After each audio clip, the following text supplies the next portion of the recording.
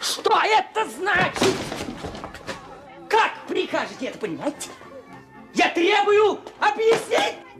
Прекрати сейчас истерику. Я свободный человек. Имею я право в свой выходной день прийти к товарищу по работе, попить чаю. Ах, это у вас называется попить чаю? Честно, благородная, только чай. Да что вы меня за идиота принимаете?